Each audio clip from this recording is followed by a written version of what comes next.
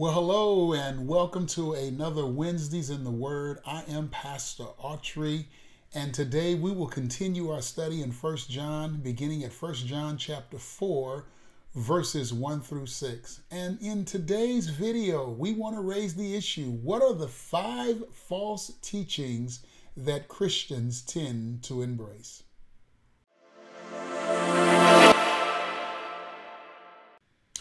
Thank you for joining us. Again, I think today is one of the most pertinent teachings that we will get as Christians because we're in a day where we are bombarded with a plethora and a bevy of ideas, diverse ideas. And not all of them are bad, but some do masquerade as Christian teachings when they are not. And so, what I want to do today, I want to share with you a number of scriptures that underscores the importance of this principle of knowing bad teaching and being able to identify it. And then I want to share a few observations. And finally, then we will talk about those five false teachings that Christians tend to embrace. And so listen to just the number of scriptures that address this issue. Case in point, the scripture that we're studying today. Look what it says, 1 John 4, 1 through 3.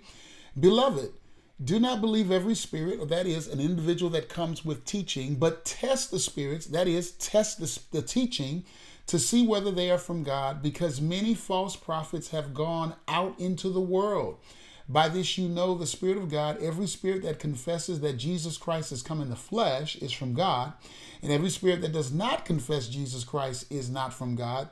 This is the spirit of the Antichrist. We dealt with that, and of which uh, you have heard that is coming and now is already in the world. Just from this scripture, I want you to notice that the false teaching is not something that bombards the church from without, but it's actually Christians who started in the faith on the inside and actually ventured out. I want you to notice that, and you're going to see it in numerous scriptures. They started scriptures they started within the church. They started as probably solid believers, but somehow they got a hold of some bad teaching and they began to venture out out of the circle of faith out of traditional or i shouldn't say traditional orthodox doctrine and began to embrace teachings that are actually antithetical to what the christian faith stands for. So and that is one. Here's another one acts chapter 20 verses 28 through 31 here's what it says be on guard for yourselves, for all the flock among which the Holy Spirit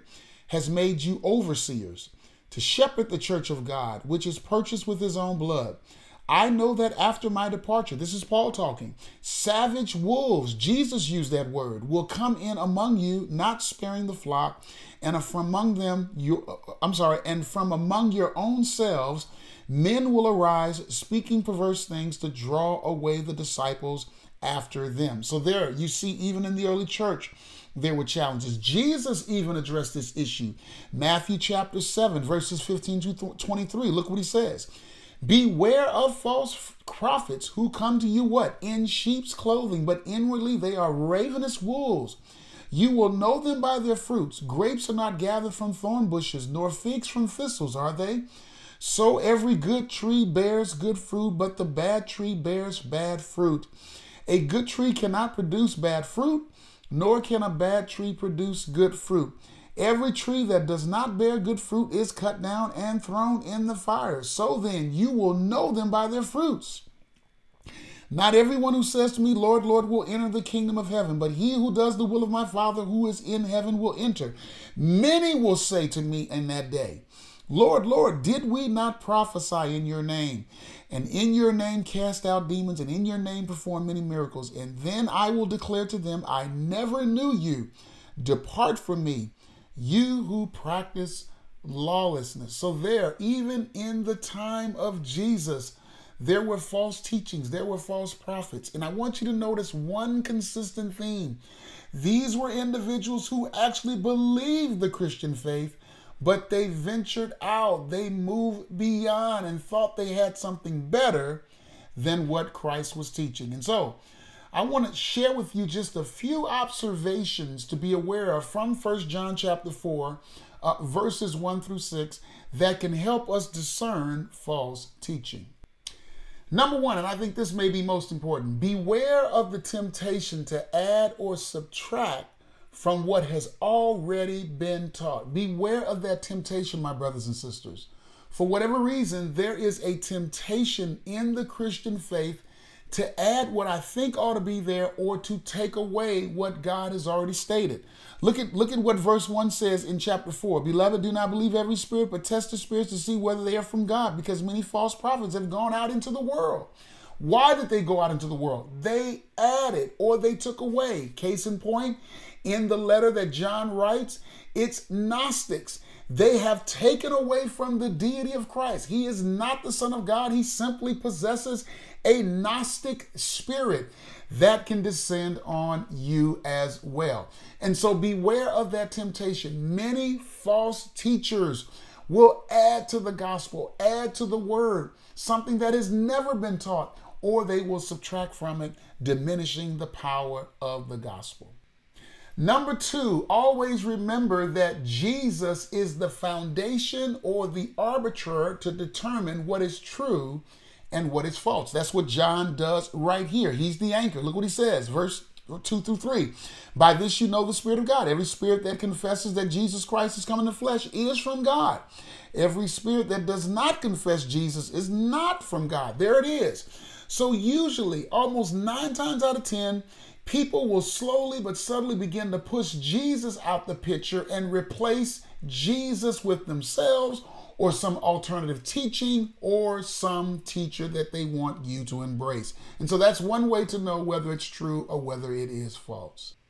And number three, the gospel will always have a third supporting anchor, and that is apostolic authority.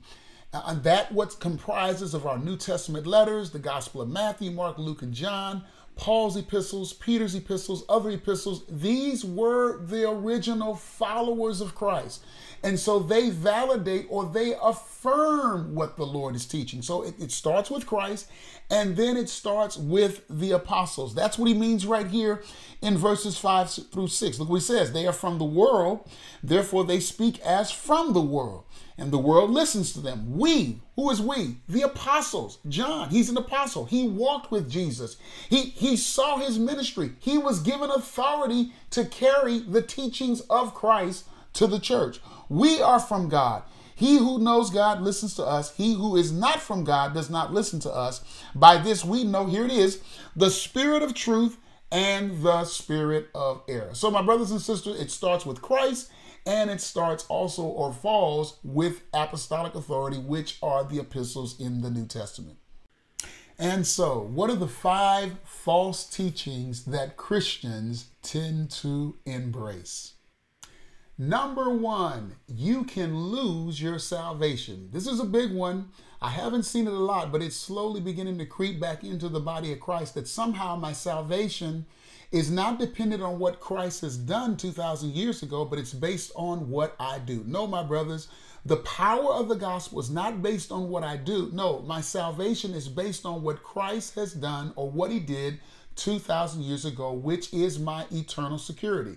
The second thing I want to raise here is that many times when we talk about eternal security or assurance of salvation, many people think what we are implying is that somehow that because of my security, I have a license to do whatever I want. And nothing can be further from the truth. No, if we've been born again, if God's Spirit has been placed in us, we ought to have a new behavior or a new desire for the things of God. What we're saying is, is that if we've been born again and God's Spirit has been placed in our heart, we are His children.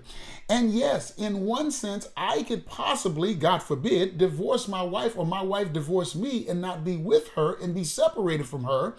But I could never be divorced from my earthly father. Why? Because there's a biological connection that connects me to him forever. Likewise, if that's true in the earthly realm, how much more is it true in the spiritual realm? We've been adopted into God's spiritual family. We have God's DNA living on the inside. We have a spiritual connection to our Heavenly Father. That's why He told us to pray, our Father. I've already done a study on this. There is a link to that study in the description box in which you can examine at your leisure. Number two, Christians must speak in tongues in order to be saved. And sadly, this is a perversion of the gospel because now you're placing conditions or requirements on salvation when Paul clearly said in Ephesians chapter 2 verse 8, "For by grace you are saved through faith, and that not of yourselves, it is a gift."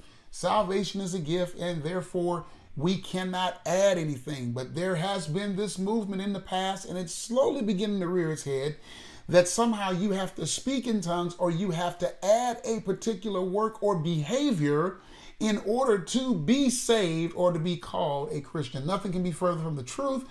You can put here 1 Corinthians chapter 12, where Paul clearly implies that, listen, all do not speak in tongues, even though all have been baptized. And there are plenty other examples that would indicate that many Christians were saved, but they didn't speak in tongues, even though they had the Spirit of God working through their lives and residing in their hearts. So, no, Christians do not have to speak in tongues to be saved. Surely there are Christians who do speak in tongues, but it is not a requirement or a prerequisite for salvation. Number three, and I think this is a very important one because I've been seeing this one rear its head in more recent days, and that is Christians are obligated to keep the Mosaic law or the Old Testament law. And, and the idea is something like this, you know, okay, you, you do need Jesus, but you got to keep the Sabbath. You do need Jesus, but you must be circumcised. You do need Jesus, but you got to practice the dietary laws. And the way it's sold to Christians is that you must hate God's laws. Why are you not honoring God's laws? And nothing can be further from the truth. No, in Christ, the Bible teaches that Christ is the fulfillment of the law. He fulfilled what we never could do on our own. And there are plenty of scriptures on this. You can put here Romans chapter 6, verse 16, uh, 14, where he says, For sin shall not be master over you. You are no longer under law, but you are under grace. You can put here Galatians 5. That whole chapter is good for you. As well, James chapter 2, verse 10, where he says, For whoever keeps the whole law and yet stumbles in one point, he has become guilty of it all. And so beware of this one. Listen, people want to add to Christianity and say somehow I have to keep the law in order to be saved. No, you don't have to keep the law. Christ has fulfilled the law for us. And now we live to him by loving one another. And as one writer said, or Paul says, and in this word, the whole law is fulfilled by loving one another. Number four, and this is an important one and really comes with prosperity teaching, and that is Christians have the power to decree or speak whatever they want into existence. And it's based on a faulty understanding of a passage of scripture in Romans chapter 4, verse 17. I'll read, I'll read it for you. Here's what it says For it is written, A father of many nations have I made you in the presence of him whom he believed, even God, here it is, who gives life to the dead and calls into being that which does not exist. And so here, this scripture, Christians have taken it to mean that, listen, I can call into existence that what does not exist. And they assume that the passage is talking about Abraham, when in fact, if you look closely, the qualifier is God. God is the one who speaks things into existence. God is the one that spoke the world into existence. That's the point that Paul is making. It is not Christians that speak things into existence. No, God has the power. And many times, if we're not careful, we can be mimicking here New Age theology or some kind of Eastern mysticism where the individual thinks they're God when in fact, Almighty God, the creator of all things, is the one that we are to honor. And number five, our last one, and yet I think it's an important one. And you're going to see this uh, even more as we go deeper into the 21st century. And here it is Jesus is simply a great exemplar or a model for faith.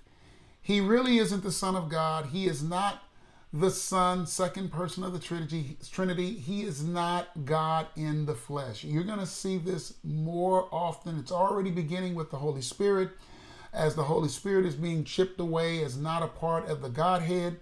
It really begins with in, uh, those Christians have an issue with this idea of a triunal God. They're struggling with it.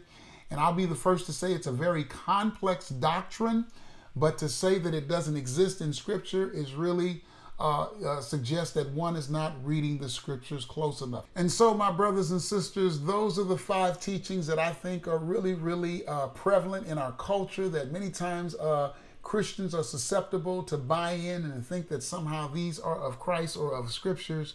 Uh, and, and, and I just want you to be aware of them. We have the power of the gospel on our side. We need not shrink from the truth. I want to throw a question for discussion in the chat, and I sure would love to hear from you. Are there other teachings that Christians need to be aware of that are false teachings that maybe you have heard that we surely have to be aware of? Would you type that in the chat? I sure would like to hear from you. I'll do my best to respond to you as we want to continue to grow in our faith. God bless you, and I'll be looking for you in the next segment. Take care.